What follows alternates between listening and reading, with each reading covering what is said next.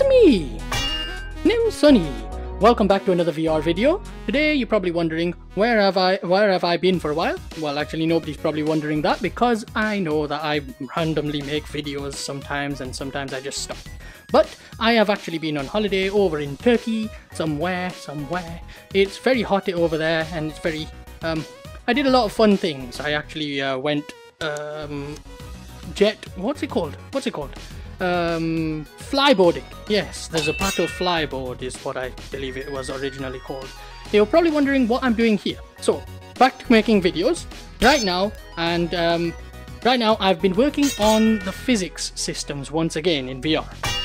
And everything you're seeing here is actually not something that I've done um, before. Well, I have done it before, but I haven't done it this way. So I actually showed um, a short GIF on uh, on Reddit for a while, um, which was about active ragdoll in VR. This here, as you can see by the arm, is actually active ragdoll, entirely ragdoll. It's not the old physics system where you've got floating hands connected to the body. Everything is 100% ragdoll. And you can see it pretty much tracks the hands perfectly even then. Look at the controller even though it's active ragdoll. So there's actually force limitations and the usual stuff. And I've also added some cool sword physics. So you can actually stab and look, it actually holds it in, as you can see. And pull it out and push. Yep, pushing works. Of course, you can see here by the wall as well. If I push, it actually pushes with my arm, not just my hand. And of course, the sword also stops completely there. You can probably hear some stuff going on in there, um, behind there. That's because there's another character who is also fully ragdoll. And you can see here, I can shove my sword right through this apple. Uh, yeah, these are spherical apples, perfectly uh, spherical. And it actually does connect. And you can see I can just pull it up and throw it off. uh, let's get another one here. There we go. And then whoosh, and you can just throw it like that. And of course the arm does start jumping about a bit. So here we've got some test boxes. One's very light and the other one's very heavy. So push, boing, nice and easy, nice and easy. And this one, not so not so easy. It was quite heavy. That look, you can see nothing happens with it. Whereas nice and easy.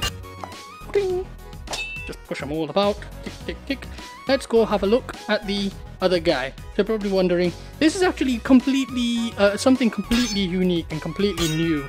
Nobody's tried to do this in VR, like at all. Literally nobody.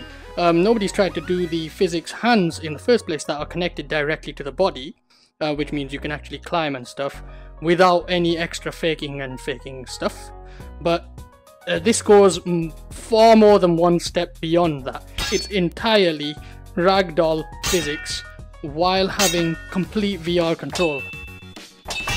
And you can see here, even with another ragdoll here, active ragdoll guy, I have complete physics-based control.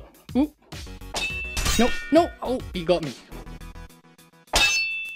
Now the hits don't register perfectly uh, simply because I've set force limits on them.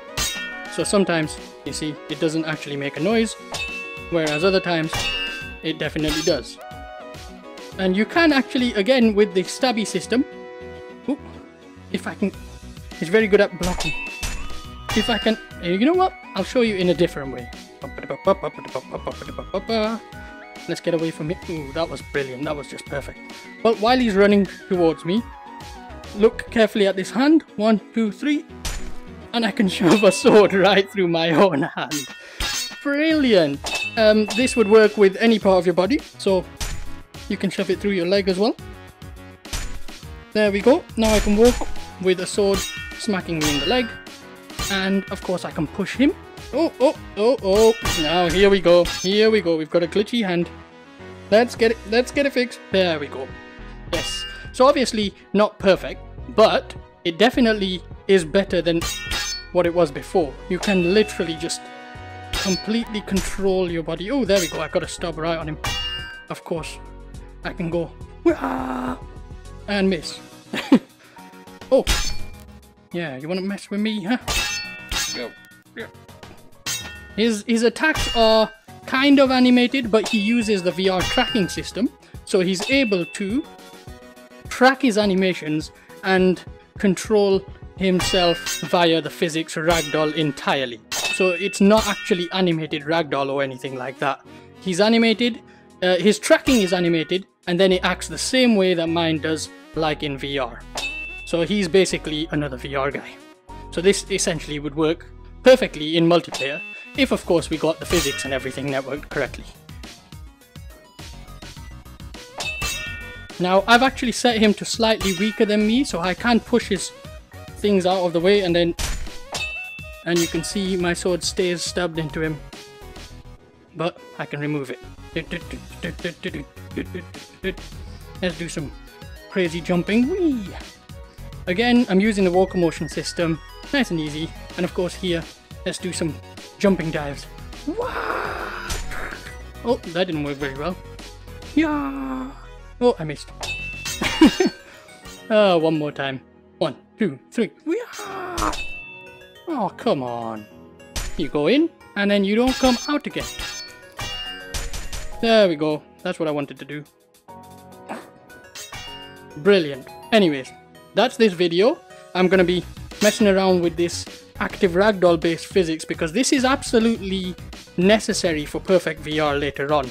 Uh, this is this is sort of a stepping stone, but a very, very, very big stepping stone towards um, Ready Player One styled VR because we're gonna need to have 100% body interactions into the game world, and this is the way to do it. 100% physics based character. Oh, nope, can't stab myself. Uh, I can hit myself though. Anyways, that's the end of this video. Goodbye!